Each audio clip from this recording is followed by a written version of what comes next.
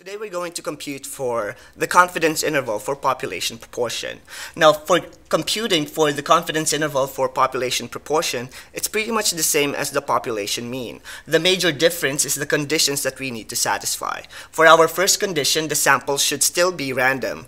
And for normality, we need to satisfy the rule of thumb number two, which is NP greater than 10 and NQ greater than 10.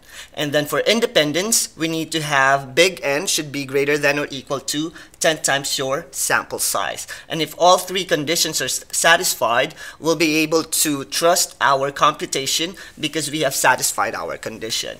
Now, if we satisfy the condition, we're ready to use the formula in finding the interval of our population parameter. And here, our um, formula will be p hat plus or minus z star times the square root of pq all over n.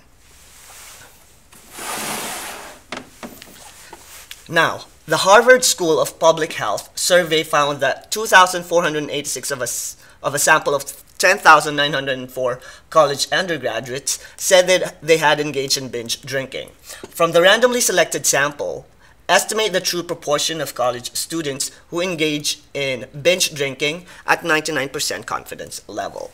Now, to conduct our uh, confidence interval procedure, the first step is to list down all the values that we will need in our formula. And in this word problem, our sample size is at 10,904.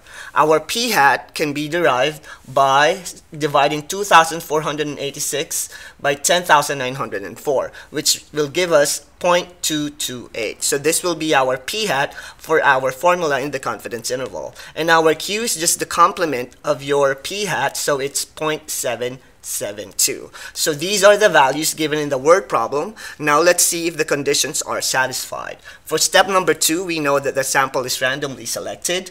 And for number two, we need to satisfy the rule of thumb number two, which is NP greater than 10 and NQ greater than 10.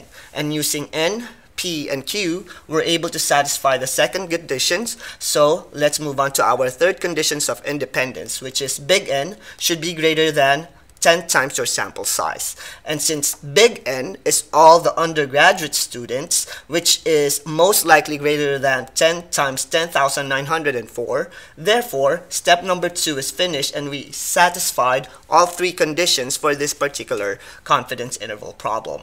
Now for step number three, we're going to find our critical value. Now the critical value is pretty much the same as finding it from the population mean. So we have z star of 99% confidence level, which 1 minus c all over 2. And using the formula, we'll get 0.005, which we will use for our z star, which we can find using our calculator or our, our z table in our book. So z star of 0.99 will give us 2.576.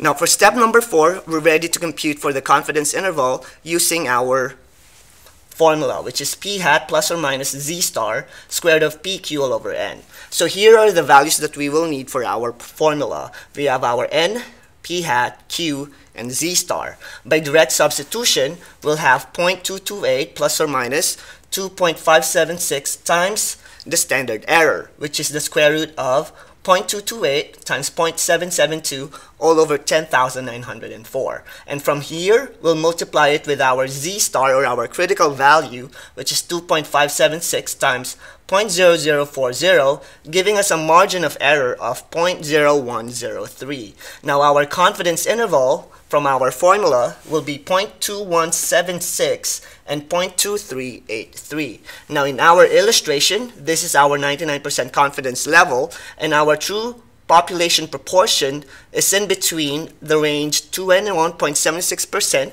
and 23.83%.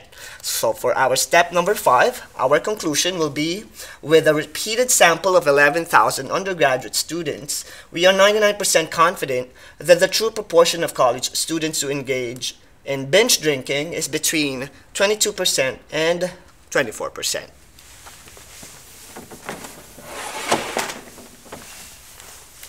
Now let's find out the minimum number of uh, sample size we need when we're conducting confidence interval for our population proportion. So this is our margin of error, which should be less than or equal to the, our maximum error. If we derive the formula in finding the sample size, we'll have a formula of n greater than or equal to the square of z star times the square root of pq all over e. So let's use this formula in our word problem.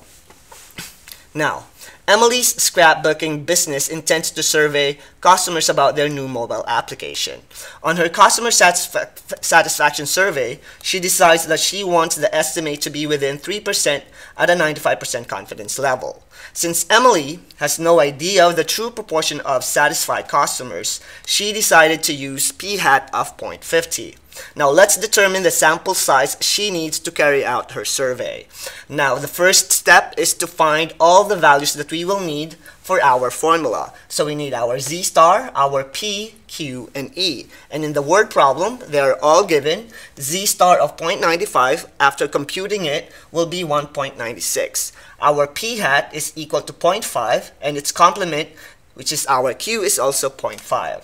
The maximum error is at 0.03, which is here in this problem. So now we're ready to compute for our minimum sample size for this word problem. So Emily needs n greater than or equal to 1.96 times the square root of 0.5 times 0.5 all over 0.03 square, which gives us n greater than or equal to 1067.11.